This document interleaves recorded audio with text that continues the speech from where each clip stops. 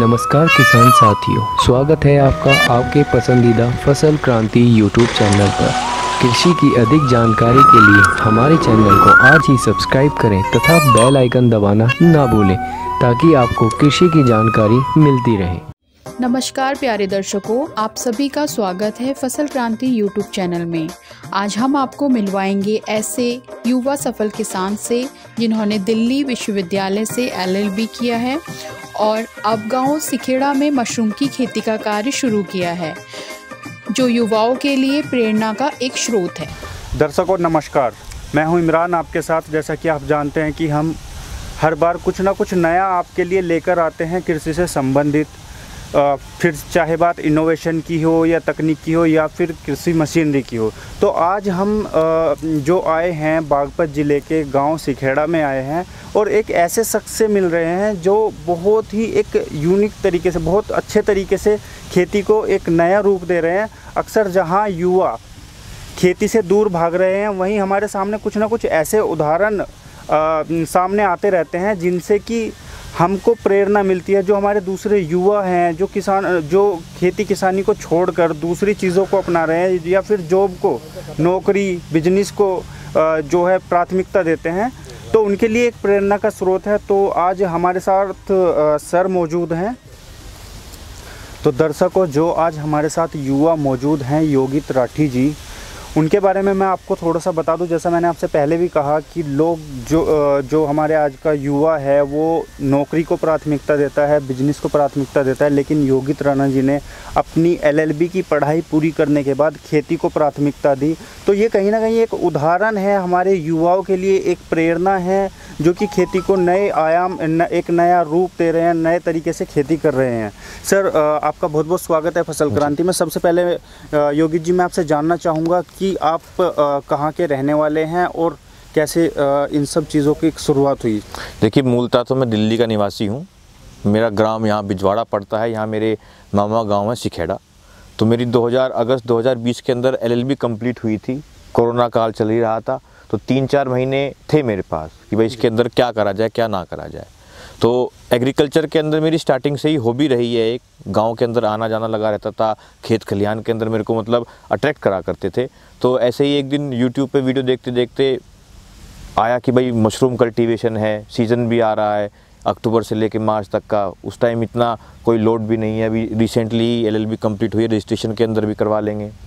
तो के से मेरा संपर्क हुआ कृषि विज्ञान केंद्र से। वहाँ से मैंने ट्रेनिंग वगैरह प्राप्त करी और फिर मैंने यहाँ पे मामा के गाँव के अंदर अक्टूबर से अपनी ये इसकी प्रक्रिया शुरू कर दी। सर मैं आपसे जानना चाहूँगा जैसे देखिए कहीं ना कहीं एक अगर अपनी भूमि होती है तो थोड़ा सा ये होता है कि मेरी खुद की कृषि भूमि है और मुझे जो है सम, मतलब ज़्यादा समस्याओं का सामना नहीं करना पड़ेगा। तो आपकी अपनी कृषि भूमि भी है या फिर आप सिर्फ़ मतलब अपने मामा की जैसे कोई कृषि भूमि है उसको प्रयोग करते हुए जो आपने ये मशरूम की खेती शुरू देखो ऐसा जी हमारा तो गाँव पड़ता है यहाँ से बहुत दूर। वहाँ हमारे दादा, लाई ज़मीन पड़ती है। पर ये गाँव थोड़ा घर से अप डाउन करने के लिए पास पड़ जाता है। तो ये ज़मीन मामा की ही है। जी। चालीस बीघे के मामा के उसमें ज़मीन आते है तो उसमें से मैंने ये ज़मीन ले रखी है। तो सर मशरूम की खेती ही क्यों? क्योंकि जबकि सबको पता है कि इस क्षेत्र में गन्ना सबसे ज़्यादा होता है गेहूँ होता है मशरूम ही क्यों चुना? भाई देखो ऐसा ना अब मैं शहर के अंदर पला बढ़ा हूँ। अब ईख के अंदर तो यहाँ पे दही तुड़ाई है। और वो काम मेरे बस की करना था नहीं पर जो मेरे को काम सुटेबल लगा कि हाँ भाई मशरूम का काम है इस काम को मैं कर सकता हूँ तो उस काम को जी मैंने यहाँ पे किया। तो अब मुझे आप ये बताइए सर कि किस क्या अ, कितने क्षेत्र में आप मशरूम कर रहे हैं क्या आपकी अ, लागत रही? और एक जो प्रेरणा हमें मिलती है सबसे पहले तो आपको प्रेरणा कहाँ से मिली खेती करने की? देखिए ऐसा है मैंने कई सारे लोगों की वीडियो देखी थी यूट्यूब के ऊपर और जो है कि हाँ भाई not seeing profit but seeing what you can do तो मशरूम एक ऐसा लगा कि हाँ ठीक है इसको बेसिकली आप लग्जरियस वेजिटेबल मान लीजिए क्योंकि तो अधिकतर गाँव के अंदर यहाँ कोई भी नहीं जानता मशरूम यहाँ पे तो सांप की छतरी जानते हैं जी। शहर के अंदर मशरूम की मार्केट है हर एक जगह के अंदर जितने भी आप चाहे छोटा शहर हो चाहे बड़ा शहर हो। तो यूट्यूब पर देखते देखते तो सोचा कि चलो मशरूम की खेती कर लेते हैं उस पर हमने इसमें करी। तो ये दो शेड लगा रखी है मैंने एक शेड का जो साइज़ है तीस बाई साठ का साइज़ साइज़ है। और इसके अंदर रैक बना रखे। हैं रैक अभी अंदर जब हम वीडियो शूट करेंगे अंदर का जब मैं उसमें अंदर आपको उसमें दिखा दूँगा। तो सर इसके लिए कोई स्पेशल ट्रेनिंग प्रशिक्षण कहीं से इसके लिए जी कृषि विज्ञान केंद्र ट्रेनिंग प्रोवाइड करवाता है। मैंने भी वहीं से ट्रेनिंग ली है। और जितने भी किसान चाहते हैं इस काम को करना वो कृषि अपने डिस्ट्रिक्ट के अंदर ज़िले के अंदर कृषि विज्ञान केंद्र से आप संपर्क करके आप वहाँ से इसकी ट्रेनिंग प्राप्त कर सकते हैं। कितने दिन की ट्रेनिंग सर आपने ली इसमें मेरी जी तीन दिन की ट्रेनिंग थी। जी। तीन दिन के अंदर जितने भी कृषि विज्ञान केंद्र के डॉक्टर थे और मेरठ से भी कई यूनिवर्सिटी के डॉक्टर आए थे उन्होंने सबने हमको प्रशिक्षण दिया। सर अ, किसी भी काम को शुरू करने से पहले समस्या सबसे पहले सामने आके खड़ी होती हैं। तो आपके लिए नई चीज़ थी मशरूम की खेती और पूरा सेटअप करना एक एक चीज़ को देखना परखना फिर रिसर्च करना। बड़ी मुश्किल प्रक्रिया देखिए, होगी मुझ मुश्किल ऐसा था जी चौदह सितंबर से मैं यहाँ पे आ गया था कि ये काम मेरे को करना है। और चौदह सितंबर से करते करते मेरे को पंद्रह अक्टूबर में मेरे काम की शुरुआत हुई। बीच के अंदर जो खाद बनता है भुस वगैरह तो यहाँ पे था ही पर लेकिन उस खाद के अंदर कई सारे रॉ मटेरियल्स होते हैं जैसे cocopeat sorry chicken manure chicken manure के अंदर भी चिकन मैन्योर वो चाहिए होता है जिसके अंदर चावल की भूसी मिली हुई हो। और जो हमारे यहाँ के क्षेत्र के के- जिन जिनके यहाँ पे चिकन फार्म है मुर्गी फार्म है उनके पास वो चीज़ नहीं होती थी वो अपना रेत मिला दिया या कुछ और मिला दिया। तो फिर संपर्क हुए, फिर कहीं और से हमने वो मंगवाई। उसके बाद फिर इसके अंदर जिप्सम भी पड़ता है। जिप्सम आमतौर पर ब्लॉकों के अंदर यहाँ पे धान के टाइम पे आता है, मई, जून के टाइम पे। वो भी यहाँ पे ख़त्म हो चुका था। उसका भी हमने जुगाड़ करा, फिर धीरे धीरे जब सारे रॉ मटेरियल इकट्ठे हो गए, तब हमने फिर अपनी खाद की बनाने की प्रक्रिया शुरू करी। सर शुरुआत में क्योंकि अगर कोई एक किसान होता है लागत उसके लिए बहुत मायने रखती है। बिल्कुल जी। तो अगर हम लागत की बात करें देखिए आपने सारी ट्रेनिंग भी ली एक चीज़ों को स्ट्रक मतलब एक स्ट्रक्चर भी तैयार किया पूरे तरीके से तो एक लागत की बात जब आती है तो किसान या तो कदम खींच लेता है या फिर एकदम आगे जो है बढ़ जाता बढ़ा देता है। तो लागत की अगर हम बात करें देखिए जी इसके अंदर ऐसा है जो मेन लागत तो आप इसके अंदर आप बाँसों की मानो। जी। तो जो बाँस की लागत होगी, बाँस तो आपके लिए अचल संपत्ति है। तो बाँस इसके अंदर, जैसे मेरे 700-800 बाँस आए हैं तो उसके अंदर मेरा करीब करीब खर्चा लाख से ऊपर पहुँच गया जी। उसके बाद में फिर सारा मिसलेनियस खर्चा भी है, खाद बनाने का भुसका भी खर्चा है उसके अंदर जो है। तो अंदाजन अगर आप लें तो इसके अंदर आप पौने दो दो लाख रुपये आप एक शेड के अंदर आप मान लो। दो शेड हो गई, एक शेड के अंदर पौने दो दो लाख रुपए। और कॉस्ट इसके अंदर ज़्यादा इसलिए होगी, हमारे क्षेत्र के अंदर ये काम होता नहीं है। तो यहाँ पे जो लेबर है लेबर भी आपको इसके अंदर थोड़ी वैसी करनी पड़ती है कि भाई वो भी अपने हिसाब से मांगते हैं। फिर दूसरी चीज़ जब आप पहली बार काम स्टार्ट करते हो तो मिसलेनियस चीज़ें बहुत सारी रह जाती हैं। उस वजह से इसके अंदर रहता है। और बाकी मार्च तक जब ये काम ख़त्म होगा जब ही पूरा कॉस्ट कटिंग का हर एक चीज़ का सारा वो मैं आपको उस चीज़ का बता पाऊँगा। एक उम्मीद हमें बनती है सर तो जैसा आपने शुरू किया और आपका बिल्कुल ये एक शुरुआत है तो आपको क्या लग रहा है कि लागत तो आपकी एक हो गई लेकिन प्रॉफिट उतना आप अर्न कर पाएँगे देखिए जी मेरी अभी जो है पहला फ्लश दोनों शेड के अंदर से निकला है। जी। और पहले फ्लश के अंदर इसके अंदर अंदाजन ये कहते हैं जितनी मैंने सुना है ट्रेनिंग के अंदर भी कि जितनी आपकी कंपोस्ट है इस सीजनल मशरूम की खेती के अंदर 30 परसेंट उसका आप आउटपुट ले सकते हैं। जो इसके सीज़न है वो आप अक्टूबर से लेके आप होली मतलब दिवाली से लेके होली तक मान लो। आमतौर पर लोग 15 अक्टूबर के भी जिसकी बिजाई कर देते हैं और दिवाली पे ही जो है मशरूम निकलनी शुरू हो जाती है और वो आपकी होली तक टेम्परेचर चलता रहता है तो वो आपकी निकलती रहती है। सर एक्सपेक्टेड कितने गुना प्रॉफिट हम इससे ले सकते हैं? जैसे देखिए जी प्रॉफिट का तो देखो मैं आपको इसमें अभी कुछ आकलन दे ही नहीं सकता क्योंकि मेरा भी पहला ही पहला काम है। और अभी मेरा पहला फ्लश निकला मैं भी खुद इसके अंदर डेढ़ महीना लेट हूँ। डेढ़ महीना लेट इस करके हूँ कि भाई यहाँ पे समस्या खड़ी हो गई कि भाई माल कहाँ से आएगा रॉ मटेरियल कहाँ से आएगा। तो प्रॉफिट का तो देखो मैं अंदाज इसमें नहीं करता पर लेकिन हाँ ये इतना ज़रूर जो पहला फ्लश मेरा निकला है पहला फ्लश मेरा एक एक शेड से अंदर दोनों शेड के अंदर से मेरा जो है पंद्रह क्विंटल माल अभी तक निकल चुका है। हाँ और जिसमें से थोड़ा एक डेढ़ क्विंटल मेरा माल साइज़ बड़ा होने की वजह से ख़राब भी हो गया था। जी। तो पर लेकिन जो है पंद्रह क्विंटल माल मेरा अभी तक निकल चुका है। और मंडी के अंदर तो rate up and down up and down चलते ही रहते हैं जी। सर मंडी का जैसा ज़िक्र किया मार्केट बड़ा मायने रखता है किसान के लिए। देखिए- तो इसका मेन मार्केट मेन चीज़ जो है किसान जो हमारा यहाँ का पीछे किसान पश्चिमी उत्तर प्रदेश का फ़सल सारी बोले। उसमें ऐसी कोई दिक्कत नहीं पर जो मेन चीज़ है मेन चीज़ है मंडी तक माल पहुँचाने की। अब मेरे पास तो अपनी खुद की गाड़ी है। मैं तो अपना माल भरा और अपना मैं उसमें ले जाता हूँ। अब अगर मेरे पास सपोज़ करो ना होती मेरा दस किलो माल उतरा। दस किलो माल के लिए मैं पाँच सौ रुपये की तो मैं गाड़ी करता। इतने का मेरा वहाँ पे माल बिक नहीं पाता। अब मेरे पे ये मेरे पे अपनी फोर व्हीलर है मुझे मुझे भाई अपना माल बेचना है। यहाँ से आज़ादपुर भी इतने पे है जितने मेरठ पे है। मेरठ अड़तीस किलोमीटर है। आज़ादपुर चालीस किलोमीटर है, गाजियाबाद की मंडी, साहेबाद की मंडी, ये भी अड़तीस अड़तीस किलोमीटर दूरी है। तो मेरे तो जहाँ जब मन मन करता है, मैं तो वहाँ रुख मोड़ देता हूँ जी गाड़ी का। पर लेकिन जो किसान है, अगर कोई ना हो, किसी के पास अपनी फोर व्हीलर से साधन ना हो, किसी का दस किलो माल होता है तो उस दस किलो माल को फिर वो उसके लिए या तो गाँव में देगा या अपने घर परिवार के अंदर ही देगा। सर शुरुआत कर करते टाइम जो कुछ चीज़ें होती हैं मतलब चाहे कोई भी खेती हो लेकिन ध्यान रखना पड़ता है कि कुछ नेगेटिव फॉल्स चीज़ें भी होती हैं। तो अगर मान लीजिए कोई मशरूम की खेती करना चाहता है या जैसे आपने शुरुआत की तो किन बा, बातों का विशेष ध्यान रखा है देखिए बातों का सबसे पहले तो अंदर ये बहुत ही सेंसिटिव खेती है टेक्निकल खेती है। इसके अंदर ऐसे नहीं कि भाई गेहूँ का है या गन्ने का खेत है अपना आप ऐसे उसमें चले गए शेड के अंदर जो लोग जाते हैं जिनको मतलब इनका भी आप एक अटैचमेंट सा ही मान लो कि भाई जो लोग इसके अंदर काम करते हैं उन्हीं को ही झेल सकती हैं जी। शुरुआत के अंदर हमने भी जो गाँव गुहान के लोग आते थे रिश्तेदार के लोग आते थे हमने भी वो अंदर घुसा दिए। पर लेकिन थोड़ा बहुत इसके अंदर इन्फेक्शन का डर रह जाता है। और जैसा मेरी फिर डॉक्टर जी से डॉक्टर साहब से बात हुई दूसरे तो उन्होंने बताया कि भाई जो ये आवाज़ आई है आप इसको बंद करोगे तो काफ़ी अच्छा रहेगा क्योंकि इनके अंदर इन्फेक्शन आने का खतरा है। और दूसरी चीज़ जो इसके अंदर मेन चीज़ तो इसके अंदर जो सारा खेल है हवा पानी और तापमान का खेल है। तो सर अक्सर इस जो मशरूम की खेती है उसको ठंडे प्रदेशों की खेती माना जाता है जैसे शिमला हो गया तो उत्तराखंड हो गया इन क्षेत्रों में अधिकतर इसकी खेती भी होती है। लेकिन अब देखा जा रहा है कि जो हमारे गर्म जो मैदानी क्षेत्र हैं जैसे हरियाणा हो गया जी जी जी। हमारा वेस्टर्न यूपी हो गया इन क्षेत्रों में भी खेती हो रही है और लगातार जो है ये एक बढ़ता जा रहा है। प्रोसेस तो इसको देख के आपको क्या लग रहा है कि थोड़ा सा मतलब जो हमारा किसान है इधर का वो बदल रहा है और कहीं ना कहीं एक नया मार्केट तैयार हो रहा है कुछ? देखिए ऐसा है जिस तरह से टेक्नोलॉजी का इनोवेशन हुआ है। गाँव के अंदर भी इंटरनेट आया है या जो गाँव के यूथ है उन सबके पास भी फ़ोन आए हैं यूट्यूब आया इंटरनेट आया है। तो उसका प्रभाव तो देखो ऑब्वियस सी बात है पड़ेगा ही पड़ेगा। जो चीज़ शहर के अंदर पाँच साल पहले पहुँची वो अब गाँव के लोग अब उसका यूटिलाइजेशन कर रहे हैं। तो जो जितने भी युवा हैं हर कोई युवा आजकल स्कूल लिटरेट है। ऐसी बात नहीं है कि भाई पाँचवीं पास दसवीं पास ही रहते हैं सब लोग यहाँ पे अपनी ग्रेजुएशन तक भी करते हैं।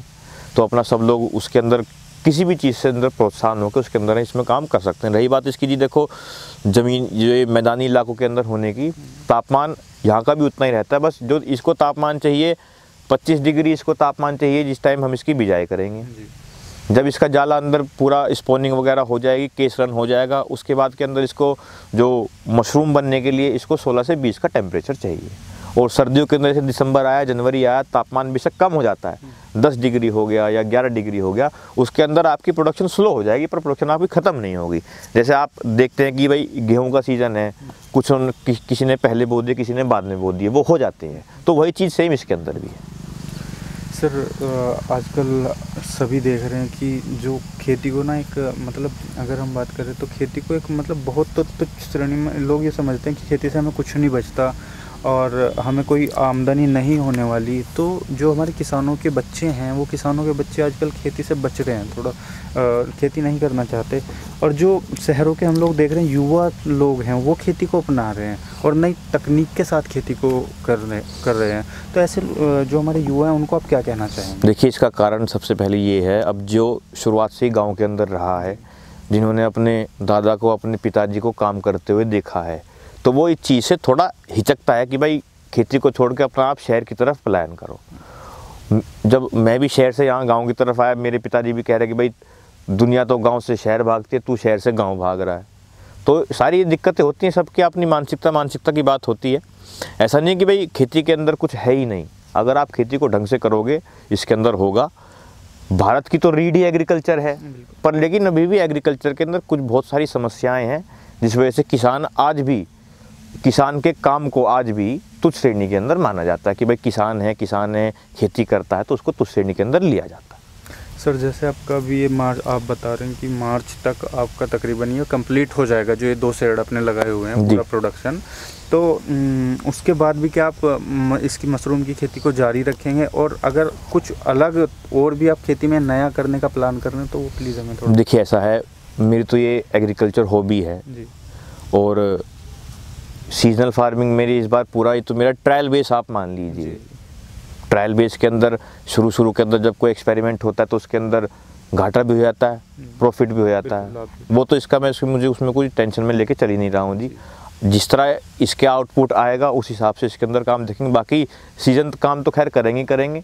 और बाकी अगर हुआ तो इसका क्या पता बारह महीने का जो एसी का प्लांट लगता है उसकी भी हम प्रक्रिया अपनी जारी करते हैं बिल्कुल। सर, फ़सल क्रांति के माध्यम से आप, जो हमारे किसान भाई हैं, आजकल मतलब वो कुछ नया हमेशा देखते रहते हैं कि हम ऐसा क्या करें जिससे अच्छी आमदनी हो तो ऐसे किसान भाइयों के लिए, हमारे युवाओं के लिए आप क्या कहना चाहेंगे? देखिए, मेरा कहना ये है, देखती तो दुनिया है।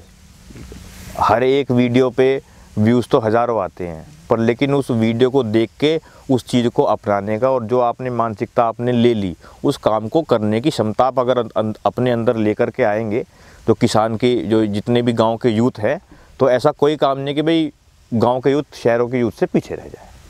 तो दोस्तों, आप लोगों ने देखा कि योगी त्रिपाठी जी जो है, एक किसान परिवार से ताल्लुक़ रखते हैं, लेकिन इनकी जो है कई पीढ़ियाँ शहरों में पली बड़ी हैं। उसके बावजूद इनको खेती से कहीं से कहीं तक भी इनका जुड़ाव नहीं है। उसके बावजूद इन्होंने ट्रेनिंग ली खेती की तरफ़, इनका आकर्षण हुआ। और आज के समय में वो खेती कर रहे हैं दूसरों के लिए प्रेरणा बने हुए सर हम चाहेंगे कि जो आपका जो सेड है वो आप थोड़ा सा हमारे दर्शकों को दिखाएँ। जी बिल्कुल। ये वीडियो चालू हो गया पूरा घुमा दो ले।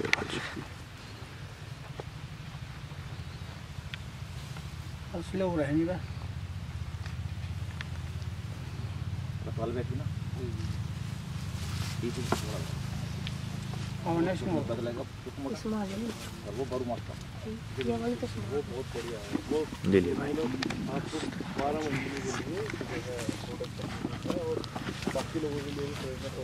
इसकी लंबाई क्या बैठे लेयर की? लेयर की लेंथ की इसकी? हाँ, इसकी ऐसे- शेड की? हाँ, शेड ऐसे भाई साठ फीट साठ फीट है। हाँ और चौड़ाई हमने इसकी चौंतीस फीट करी है। अच्छा, पर तीस बाई साठ का आप लिख उसमें बता देना। ठीक। भाई तो ऐसा ना आदमी अपनी सहूलियत से हाँ, निकलने की गली के अंदर से ये है। हाँ, अगर हम इसको तीस करें तो निकलने की जगह बहुत छोटी रहती हाँ है। वो है चीज़ चलो।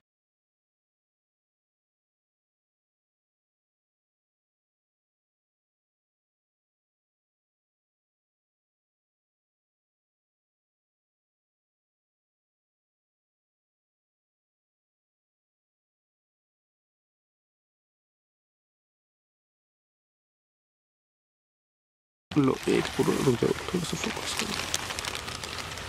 यहाँ से शुरू है ना वीडियो हाँ इतनी रखे अब ले जाओ नीचे बस इस पे रखे